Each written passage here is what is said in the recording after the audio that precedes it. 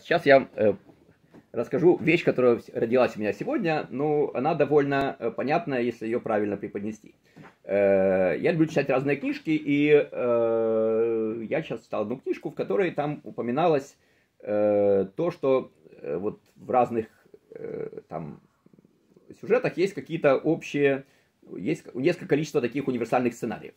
Вот. Но я сейчас не буду в детали вникать, но в частности там упоминался Борхес, который там, значит, при, при, говорил, что есть там четыре э, типа сценариев, э, и даже неважно все остальные. Вот, и он сказал, что четвертый сценарий это сценарий самоубийства Бога, вот, который позволяет трансформировать наше отношение к нему.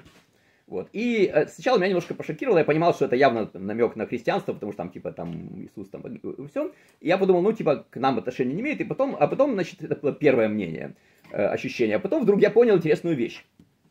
Э, э, что э, вот эта идея, она интересно проявляется в иудаизме, и очень парадоксально, но очень логично. Вот, в чем есть идея? Что, конечно, когда мы говорим про убийство, убийство Бога, это не, не, нельзя воспринимать в буквальном смысле, потому что как можно этого? Но, тем не менее, бывают ситуации, когда Бог допускает исчезновение или разрушение какой-то вещи очень важной. Вот. И э, в, еврействе этого добра было очень много. Ну, добра в кавычках. Вот. Ну, например, когда э, был разрушен храм. То есть храм это очень важная часть была иудаизма, но тем не менее в истории, как-то из песен слов не выкинешь, два раза было два храма, которые один разрушили вавилоняне, другой разрушили римляне. Поэтому можно сказать, что э, как бы это не самоубийство Бога, а э, сюжет в истории, в котором Бог допустил, или там Бог организовал, или Бог спланировал, или Бог, э, так сказать, включил в историю сюжет, в котором его храм, который являлся его э, как бы основным э, ну, инструментом все религии был разрушен.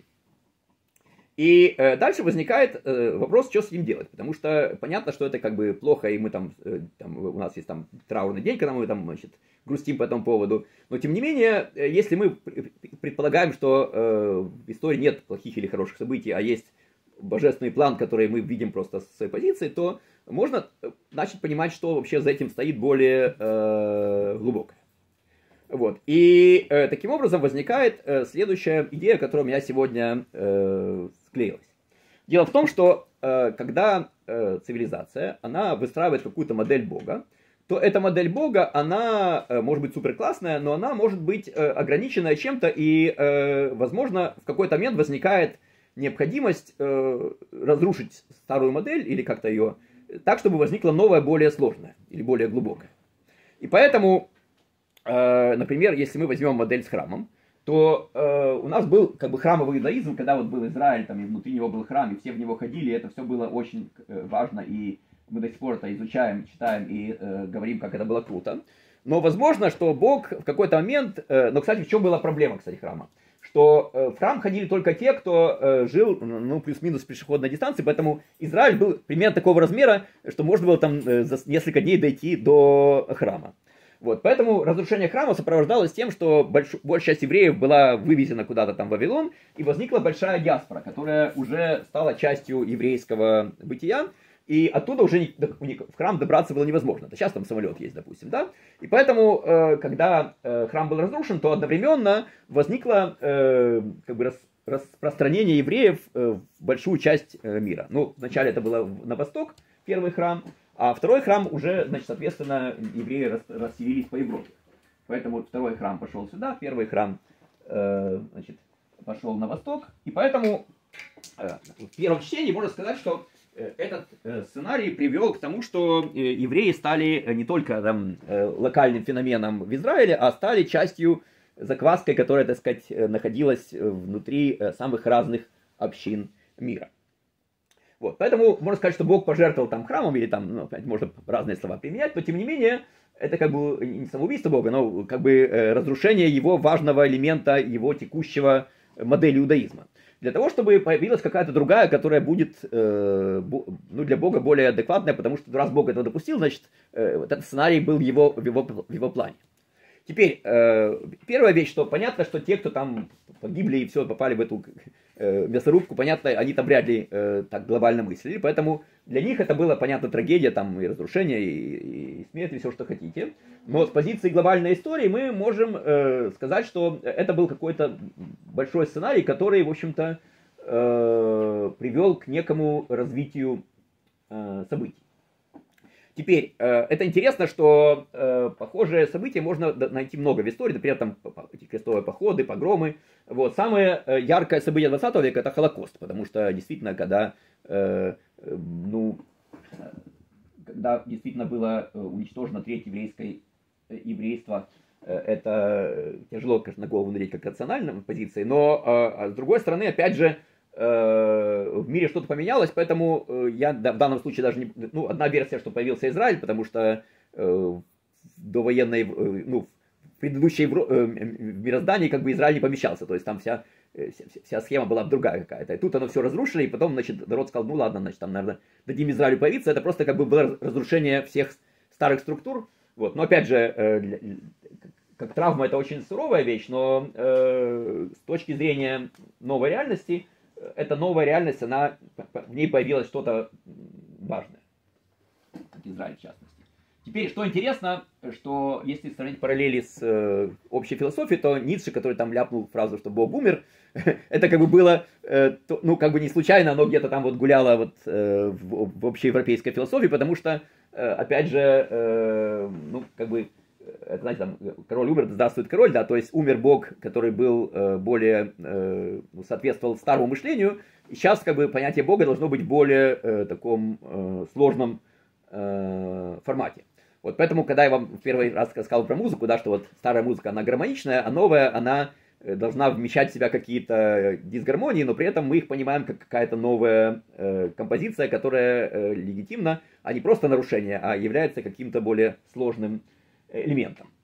Вот поэтому, э, как бы, чтобы еще подвести итог, но потом добавить следующий так. Э, то же самое, например, когда смерть какого-то большого человека. Например, вот э, дружественные нам хабадники, у них э, всю эпоху был их Любавический Рэбе, который жил до 94 -го года и был лидером всего движения. Вот, но он человек, поэтому он умер, и поэтому э, Хаббат, слава богу, существует, но он уже существует в другом формате. Конечно, жалко, что он умер, но как бы возможно, что, ну, опять же, люди не вечные, поэтому все равно приходится потом жить уже в другом, э, э, как бы, ну, люди, короче, э, люди не могут жить вечно, поэтому это как бы часть правил игры. Более того, чтобы немножко с, э, с, э, э, подвести к реальности, у нас сейчас вот в, это, в этом году умерло довольно много больших мудрецов, причем, что любопытно, что хотя у нас пандемия, большинство еврейских мудрецов умерло совершенно от другого. Например, Равсакс умер там от канцера, Штанзаль там от инсульта, еще всяких вещей. То есть э, сейчас у нас э, в э, этот год ушло какое-то количество величайших мудрецов, но как бы прошлой эпохи. Вот. Причем они были абсолютно гениальные, то есть у, у евреев мы не говорим, что они там чего-то не додумали, просто вот когда э, умер Равсакс, моя жена сказала, что она чувствовала, что он все, что, что, все, что нужно, все, что он хотел, он уже сказал, то есть как бы он свою как бы роль выполнил, и дальше, так сказать, Бог его забрал, то есть, ну, как бы мы, ну, мы не можем опираться на Бога, что он забрал там человека, потому что, ну, мы считаем, что как бы, ну, человек если умер, значит уже Бог этот сценарий э, и, как бы э, включал, э, ну, имел, имелся в виду. Поэтому сейчас мы тоже живем вот какую-то странную эпоху, когда вот сейчас пандемия, она как бы поменяла мир, вот. Ну и кроме того, что там просто люди умирают э, сами по себе, но как бы и также большие мудрецы в этом году умерли э, больш... в таком количестве гораздо более значительном, чем в среднем в обычные спокойные времена. Вот поэтому э, какая тут э, идея, которую я хочу там с второго чтения подвести, что э, в религиозных духовных течениях у нас нету не всегда там какая-то просто линейная э, динамика, а у нас периодически возникают какие-то моменты, когда система как бы разрушается, но потом возникает какая-то более э, сложная система, э, которая ее заменяет и как бы делает эволюционно более э, новый этап. Кстати, еще один пример вот для тех, кто связан с Украиной. Э, классический пример, что вот э, есть такая связка, что э, хасидизм возник э, через, ну не сразу, но после восстания Хмельницкого, потому что э, Хмельницкий разрушил старые общины, которые были очень хорошие, но старые. Вот, и э, есть такое вот у, у моей покойной мамы было любимое выражение задворки. То есть на задворках всегда что-то возникает, потому что в центре там все схвачено, а на задворках там э, как бы есть место для чего-то нового. И э, Украина стала задворками, потому что ее просто, ну, Хмельницкий там все вытоптал. И поэтому Большемтов, который создал хасидизм, он возник именно как бы на задворках, то есть на том месте, которое как бы было из-за этого всего катаклизма, оно э, менее э, под контролем каких-то классических мудрецов, поэтому э, там возникло что-то новое, которое стало очень важным элементом, э, элементом философской мысли иудаизма. Вот поэтому вот эта концепция как, как бы самоубийства Бога, это на самом деле, э, что какой-то аспект божественной схемы, он как бы Бог его э, позволяет разрушить, э, для того, чтобы э, потом возникло что-то более сложное и более э, адекватное э, мироздание. Вот поэтому э, к вопросу о том, что такое хорошо, что такое плохо, да, значит, да, сейчас как бы э, мир стал более сложным, поэтому нам нужно как-то мыслить более сложно, чтобы э, уметь э, видеть хорошее в каких-то сложных поступках, сложных событиях, которые выглядят очень одиозными или какими-то такими достаточно э, странными. Вот. И поэтому, э, ну, более того, там политики будут пытаться искать плохие вещи, потому что тут есть следующая вещь, которую вот я как раз думал, ради чего это все рассказываю, что есть два сценария как бы движения человечества, которые оба сейчас воплощаются.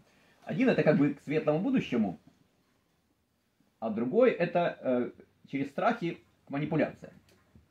Вот. И поэтому э, сейчас э, политики э, очень увлеклись вот этим элементом. Особенно пандемия, это прямо вообще э, раздолье всяких э, самых страхов и прочего. И поэтому э, страхи это удобный способ э, властям э, это, манипулировать массовой культурой. Поэтому действительно сейчас там вот, я сейчас там э, должен был ехать на какой-то семинар, тут опять не пишут, что из-за ковида, значит, мы там все испугались, все закрыли, там все ничего не будет. То есть оно все как-то так очень э, очевидным образом э, нас там затрахивают всеми этими, застрахивают. Вот. С другой стороны, э, как бы вот эта линия света, она э, присутствует, э, и этот свет, он более сложный, то есть до него добраться нужно пройти через эти все страхи, как бы выйти на этот уровень, э, чтобы э, не попасться в ловушку вот этих страхов и выйти на этот самый э, свет, который присутствует в этом в нашем мире еще более проявлено. Вот. Но, тем не менее, эти страхи действительно, они как бы заслоняют, поэтому много людей действительно там из-за страхов они не видят света, они там как бы подпадают под эту, под прессинг политических и прочих манипуляций, которые в эти страхи загоняют. Вот поэтому э, хорошая новость в том, что чем больше страха, тем больше света, просто оно как бы идет э, в комплекте. Вот это э, по этому поводу, э, там один мой знакомый, я тоже люблю это, иногда цитирует э, как бы одного из самых злобных персонажей, там Сталина, который говорил, да, что с приближением к коммунизму растет э, классовая борьба, поэтому он там это оправдывал ну, свои репрессии, что типа вот мы там типа движемся к светлому будущему, но у нас там должны бороться с врагами. Вот, но это у него было чисто э, на уровне манипуляции, но на самом деле действительно чем мы ближе к свету, тем больше э, возникает страхов э, в массовом сознании на, на, нагнетаемыми э, вот теми, кто там пытается там свои э, интересы соблюсти. Вот поэтому вокруг нас действительно будут нас там пугать тем, всем, значит, там, когда Трамп, там вообще там вся эта политика была, там пугали Трампом, это вообще был такой одиозный пример, как там из человека сделали пугало, просто называется демонизация. Вот, когда э, разных людей, там, сказать, превращают в пугало, и, ради, и с помощью этого там, значит, соответственно, продвигают какую-то свою линию. Вот поэтому э, наша как бы программа минимум не поддаваться на эти провокации, потому что, э, ну, действительно, э, эти люди как бы свои какие-то цели продвигают, и поэтому, э, если вокруг всякие страхи, то как бы как минимум стоит э, не слишком э, ими, э, не слишком их всерьез воспринимать. Э, вот. Э, ну, опять же, конечно, надо адекватно понимать, что где происходит. То есть нельзя быть таким романтиком, э, чисто лириком и отвлеченным от мира, но тем не менее нужно понимать, да, что вот, вот этот... Кстати, интересно, что есть две религии, которые, так сказать, как бы эту историю, значит, в христианстве есть понятие антихриста, вот, которое очень напоминает вот это все безобразие, которое происходит. Вот. А э, в иудаизме есть понятие, что в конце дней будет борьба Гога и Магога. Что такое, никто не знает, но э, это выглядит так, что действительно э, вот для того, чтобы эту всю канитель завести, нужно всегда возникает две силы, которые между собой воюют, но обе они какие-то э, явно мутные. Например, когда вот теми, есть там ваксеры, антиваксеры, то есть я не говорю, кто прав, но э, и те, и другие, как у них куча тараканов, которые, значит, там друг друга грызут там, э, или там, э, ну, или политики там, значит, те, и другие, значит, они все Э, то есть для того, чтобы там затеять эту свою динамику, там возникают какие-то два лагеря, которые между собой устраивают очень такие шумные противостояние.